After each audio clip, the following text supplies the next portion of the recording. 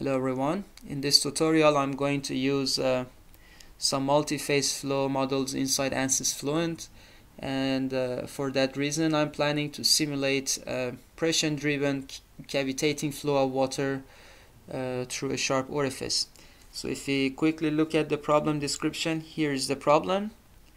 Um, the flow is coming from left to right. The flow is actually water in the beginning, but after some distance from the inlet, uh, you see that uh, um, the geometry is experiencing a sudden change in diameter and I would expect to see a, a, sudden pressure drop as well inside the orifice. So this pressure drop uh, perhaps causes some uh, cavitation inside the orifice.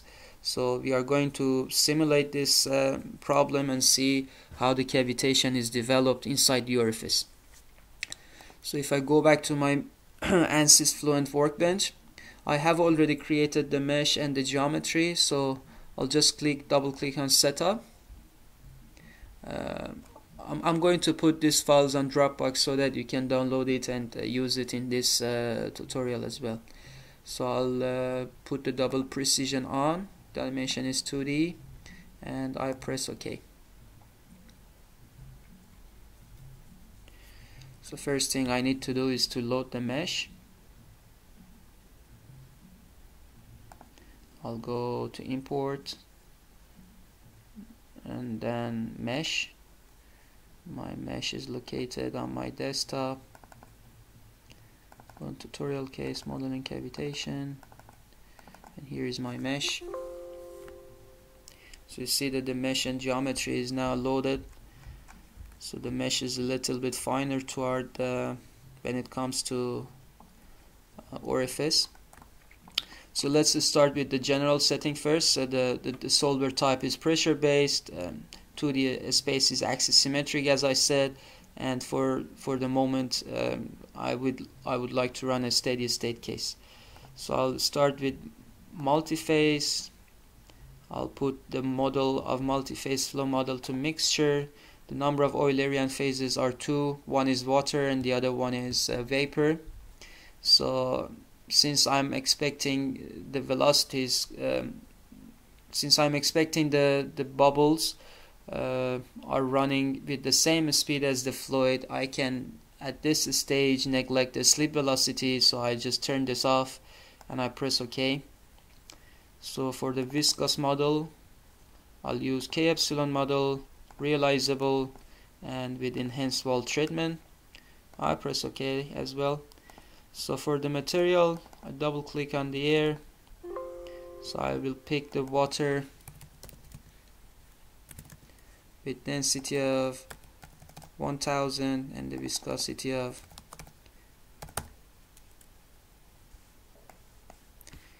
1 e minus 3 and change create. I'll close this. I need another uh, material which is my water vapor. So I have already have it in my Fluent database. I double click on that and uh, I press copy. But I would like to change the density and the, and the viscosity.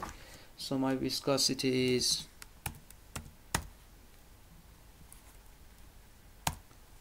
and uh, density was 0.025558 and that the viscosity is 1.26 e to the power minus 6 change create and I will close it so this one I will delete now. So if I come to the model multi-phase flow as I said the multi-phase flow model is set to mixture with two with the number of Eulerian phase to 2 when it comes to phases I will list show all. So my primary phase I double click on that is water. I would call the phase 1 water. And then my secondary phase would be water vapor. And I call it vapor. Press OK. Then close. Uh, what else I need to change here? Um, okay so when it comes to the boundary condition the inlet I'll double click on the inlet. So since this is a pressure driven uh, simulation uh, I have put the inlet 1 and inlet 2 I have two inlets. I have to mention that one one inlet is from here to here and inlet 2 is from here to here. So that's why I have inlet 1 and inlet 2 so if I click on the inlet 1 again I put uh, gauge total pressure to 5 bar. And this supersonic initial gauge pressure I will put it to 44 500 Pascal. Um, this is actually this the first one is gauge total pressure which means it consists of uh, both static pressure and uh, and the, the the pressure due to the velocity which is a total pressure. But when it comes to the supersonic or initial gauge pressure it's basically the static pressure. And uh, if the problem is um, uh, compressible if your fluid flow is compressible uh, then this supersonic velocity uh, this supersonic pressure actually helps to find the initial velocity at the inlet.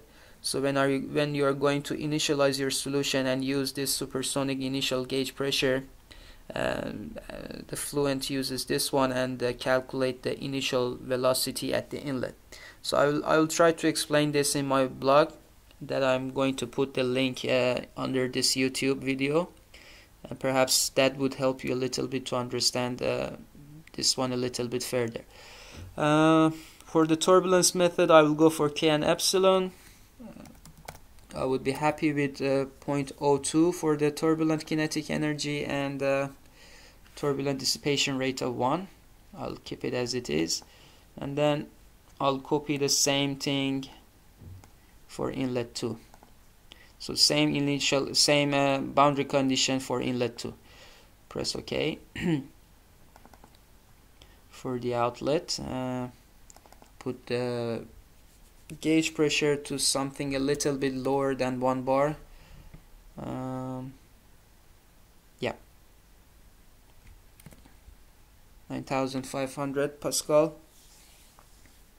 No, 95,000 Pascal. And uh, the same K and epsilon model. As for the inlet. This one should be closed now uh, make sure make sure that the vapor the vapor um, volume fraction is set to zero for both inlet and outlet. This one is zero as well. That's good. And then the operating condition I would like to put it to zero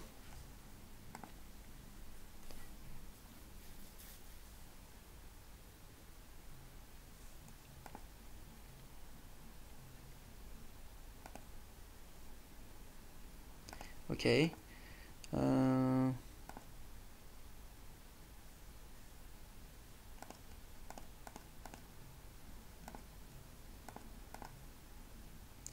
okay so I've forgotten to set the interactions as well. So since you have two phases I would like to have this number of transfer of mechanism to 1 press the warnings OK um, so from phase 1 to phase 2 which is vapor I would like to have this interaction of cavitation. So you see here you have this cavitation models. You have two cavitation models but I'll keep the default as it is. But this vaporization ah, vaporization pressure uh, I'll put to 3540 as a constant value which means that if the pressure at a temperature of 300 kelvins goes lower than this value then the water will go into vapor. So this is your cavitation or vaporization pressure. So I'll press OK. Now I'm happy with this one as well. So boundary condition is done. Then the method solution and method. So I'll use uh, coupled presto for pressure volume fraction I will go for quick and then quick for quick for uh, quick for momentum as well. Then monitors residual we'll add two more zeros. I'll change for all of them I press OK make sure that the plot is on. And uh, now it comes to initialization. I'll go for hybrid initialization. And then here I would use specific use a specified initial pressure and inlets. So that's what I was talking about. So if you use this one then then ANSYS Fluent will use uh, those super those uh, supersonic initial gauge pressure to calculate the velocity in the inlet. Uh, so I press OK. Run calculation. Uh, um, let's use this pseudo transient and have this high order term relaxation on as well. So now I would like to control the solution. I would like to control the volume fraction under relaxation to 0.3 okay now I'm I would be ready to start. I would run for 400 and uh, solution must be initialized so I think I need to initialize it again since I changed something there. Okay initialize it again and then I would run the calculation for 400 iterations. So this is not a heavy simulation. Uh, hopefully this will be quick.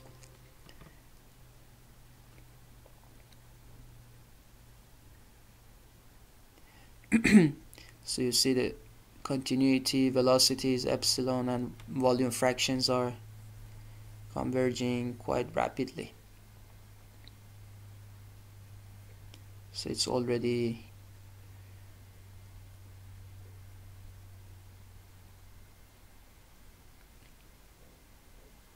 okay now it's converged. Calculation complete. I'll go to post-processing. I'll show you some contour plots. For example the pressure. First uh, I use this option field save display. So here you see that the pressure that you had in the inlet something like 55 bar or 5.5 bar. Yeah it was 5.5 bar.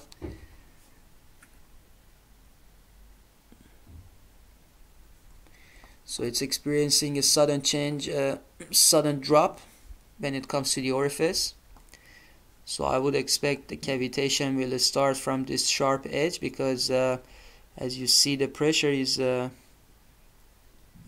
somehow lower than the cavitation uh, pressure of uh, or the pressurization vaporization pressure of the the water. So if I go back to the contour make a new one and in this time I go for phases and then the volume fraction I use filled instead of water I'll go for vapor. And here is here it is so you see there is almost no vapor here but uh, right in the corner the vapor is started to created this is the obvious cavitation problem and you see that the cavitation is uh, actually transported with the main flow in the orifice downstream. Uh, perhaps it would be interesting to show the contour plots of turbulence uh, and the turbulent kinetic energy. Uh, if I press field so you see that uh, it's very interesting that, that the high turbulence intensity is actually created or coincide with the area that you have this uh, uh, cavitation. So this high turbulence intensity actually um, does not allow the bubbles to grow much uh, bigger and um, since you have a turbulent flow it it uh, it crashes or it um, it destroys the bubble and it does not allow the bubbles to grow uh, bigger. And you saw it actually in the picture in the contour plots of the cavitation flow or the the void fraction or the volume fraction of the vapor. So I hope you have enjoyed this tutorial and you have learned something from this tutorial I'm going to put some comments on my blog. Don't forget to subscribe to, to my youtube uh, video uh, my youtube channel and like my videos. Thank you. Bye bye